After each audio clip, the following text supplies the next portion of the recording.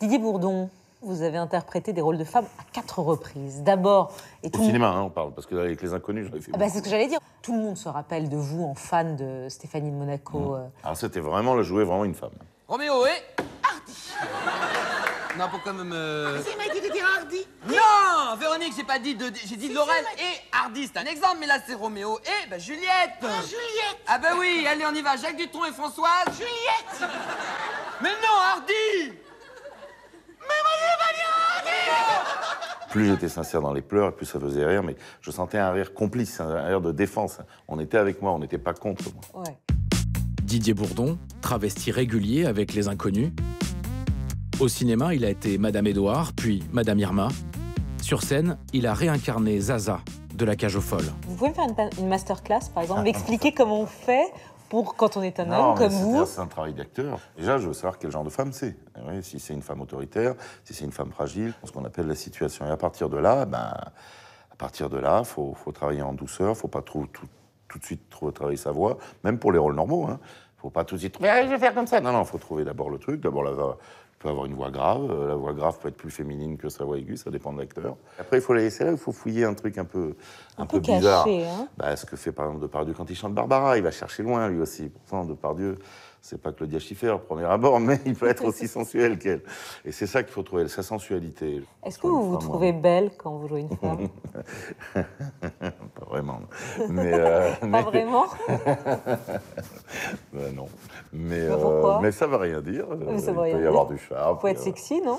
euh, Sexy, ça je crois pas trop, mais bon, quoique j'ai de très belles jambes, paraît-il, c'est comme disait la. D'ailleurs, les beaux hommes ne font pas forcément les meilleurs travestis au cinéma. C'est Ah. encore une. Ben non, parce que ça Il vaut mieux pas. être moche pour faire une. Non, il vaut mieux être intérieurement euh, féminin, un peu. Vous, vous êtes intérieurement féminin? Oui. Il y a quand même un- une ambiguïté quand on joue une femme. C'est-à-dire d'un seul coup, on, on- voilà, on, côtoie le danger, comme dirait Légitimus. C'est-à-dire on, on, on tape dans la féminité, euh, dans notre féminité, et, et je dirais qu'il y a une petite schizophrénie qui peut, qui peut Mais s'opérer. justement, est-ce que vous pouvez aller plus loin? Ça veut dire quoi On côtoie le danger quand on interprète une femme? Bah, parce que. bah, Parce ce que la femme est dangereuse Py- ou c'est. Non, ce qui est dangereux, c'est de, de fouiller un petit peu.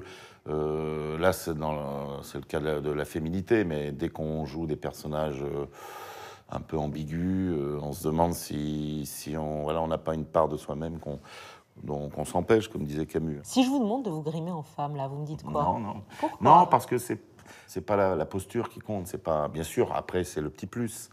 Si je vous mets du rouge à lèvres, un peu de rimel, une mentille, ça marche Non, pas? parce que je sais pas quel personnage c'est. C'est comme au théâtre. Moi, j'aime bien, et souvent on le fait au théâtre, euh, même au cinéma d'ailleurs. On met les costumes au dernier moment. C'est pas le costume qui fait l'acteur, c'est C'est le rôle. c'est d'abord le, le travail, c'est d'abord le quel rôle vous me voilà. Si je vous fais une présentatrice, bien sûr, je peux faire comme ceci. alors, elle est bien habillée, elle se veut un petit peu moderne. Ah, vous foutez de ma gueule, là Bah, Non, non. Alors d'ailleurs, j'ai une petite anecdote pas loin d'ici. Je faisais une pièce de la biche et en fait, il y avait un, un moment donné, le type se déguisait en bonne femme pour pas faire le service militaire. Et je sortais, ce qui se faisait beaucoup à l'époque, dehors pour re-rentrer euh, dans le théâtre et les gens se tournaient. Et j'étais maquillé à la va-vite avec deux ronds rouges, de trucs. Et, euh, et je sortais et le nombre de fois où je voyais des potentiels clients, des mecs qui me regardaient, et je voyais dans leurs yeux souvent, pourtant j'avais pas beaucoup de temps, le côté, tiens, celui-là, il s'est pas donné beaucoup d'efforts. les deux ronds rouges, le truc, suis- Quelle est la femme que vous aimeriez faire? Un rôle de femme, ce qui me plairait, c'est avoir des scènes où, où je réglerais mes comptes avec la masculinité de, de l'époque. Ah ça, me plairait. Bah, c'est le côté lutter contre le mec qui dit Alors, vous êtes charmante. vous savez, tout ce truc qu'on déteste.